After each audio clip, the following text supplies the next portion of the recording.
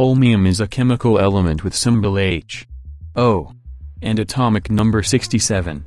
Part of the lanthanide series, holmium is a rare earth element. Holmium was discovered by Swedish chemist Per Theodor Cleve. Its oxide was first isolated from rare earth ores in 1878. The element's name comes from Holmia, the Latin name for the city of Stockholm.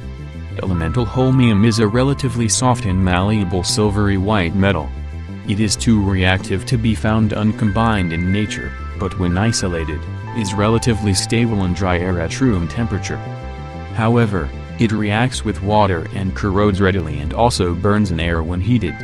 Holmium is found in the minerals monazite and gadolinite and is usually commercially extracted from monazite using ion exchange techniques.